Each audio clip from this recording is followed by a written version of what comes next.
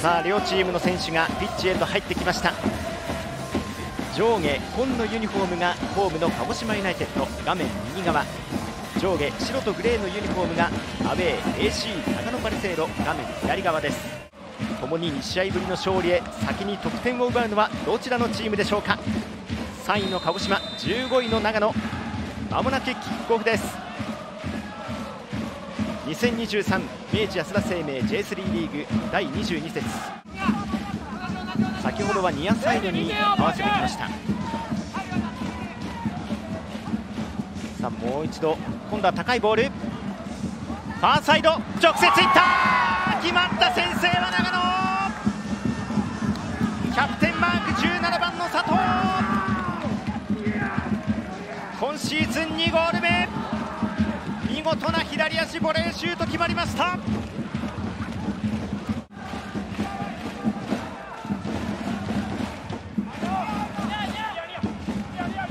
ァーサイド。ヘディングシュート押し込んだ。同点に追いつきました。ホームの鹿児島もコーナーキックから。28番利根一世。移籍後初ゴー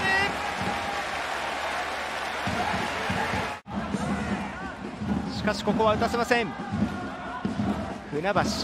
ミドルシュートポストに当たった。もう一度。バーの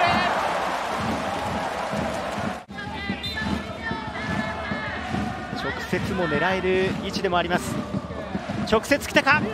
頭でスラス。ミドルシュートバーに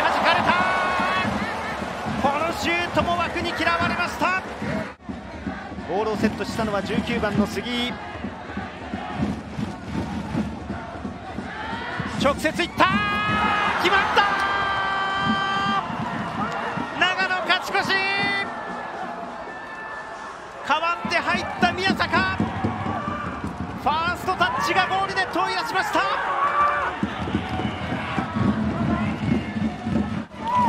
代わって入ったばかりの宮坂。そのファーストタッチが貴重な貴重な勝ち越しゴールを生み出しました。